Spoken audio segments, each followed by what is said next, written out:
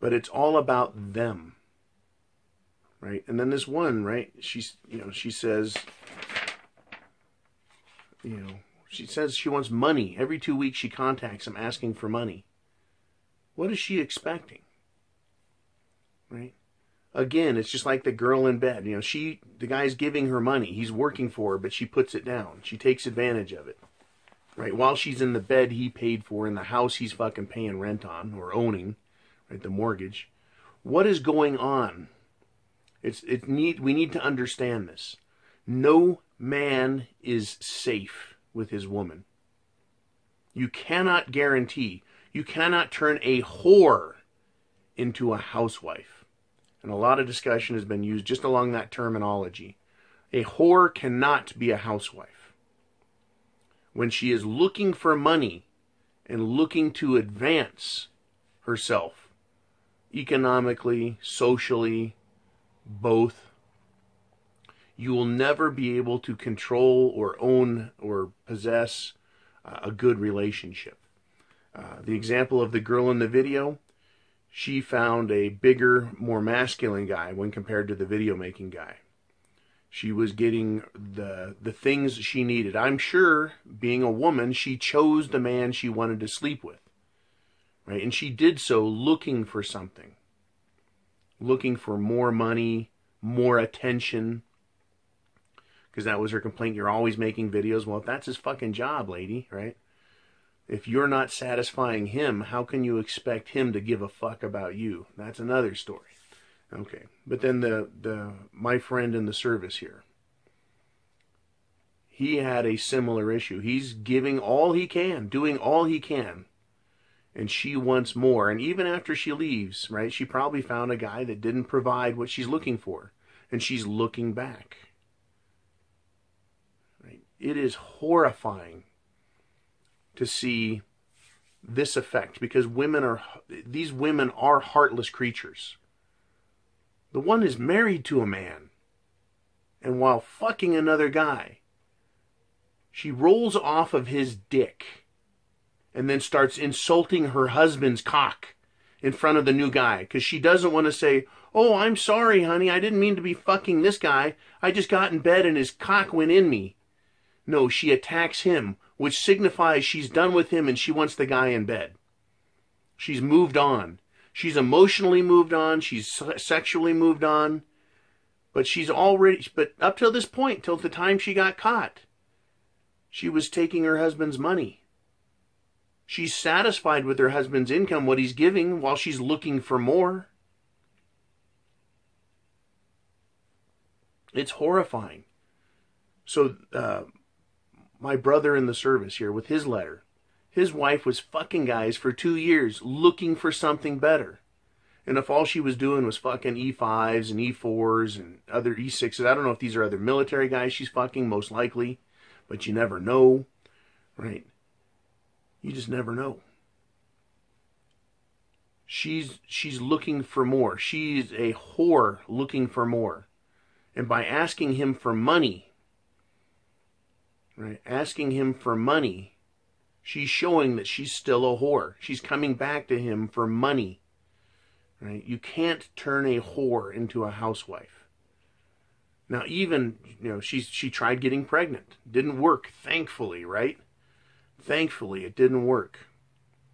But all that means to her is more money. Even whores have the desire to have children. Even whores have the desire to have a family and be married. They're not they're not they're not that dead inside. But where the disconnect happens is between the heart and the head. Right? They have feelings for a family and children, but their head makes them do stupid things because it's emotionally driven. They want more money, they want more social status, right? They want a lot of cock because they're whores and they're hunting for that money. They're hunting for something that they can't get they're not satisfied. There's so many problems with women, right? This damage that occurs when feminism takes root and makes them the center of everything. It is to me a terribly horrifying situation. To read these letters that you guys send me, And people that do Patreon, they have a little more access to send me uh, uh, private messages about their stories. And some want them read and don't mind them read. Others don't want. A lot of people uh, donate money and they just want to be as anonymous as hell. They never contact me. That's fine too. But a lot of guys say you've got to read this, man, or at least consider it, use the story, use the information. But they want it out there because they know how much they have love in their hearts and how women, these women they've run into, either married or just girlfriends, are cold. They're full of hatred. And at the very least, at the very least, they just have nothing in them. They are they are empty vessels. They have no love or compassion. They just want. And so they destroy men. Destroy them utterly no conscience, right? This, this, I guess I was selfish. A little bit of honesty. My ex-wife said to me, well, I had an escape plan. I've always had one. Are you fucking kidding me? Right? 23 years in, you had an escape plan. I gave you everything. The fucking ranch, the horse ranch, the barns, the fences, the horses, the fucking mansion. Right? The family, myself, give everything and you have an escape plan from that? A fucking escape plan to get away from everything you wanted? It's not really an escape plan. It's more like a destruction plan or a selfish, I'm going to get all I can plan. So that's the difference, right? That's what happens. You cannot make a whore into a housewife. You can't do it. You can't do it. Anyways you know, I read that and I'm inspired that men are getting away from these whores.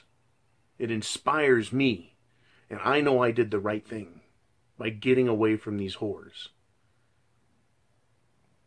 Right? You guys do the same. Get away from them. MGTOW, men going their own way. You don't have to put up with this shit anymore. Right? You can do whatever you want. You can stay with them if you want and give them all your money. You can pump them and dump them, whatever the fuck you want. But by golly, don't fucking buy the story, right? Somehow you've got to figure out and know for sure if you're going to be in a relationship with one of these things that you can't trust them.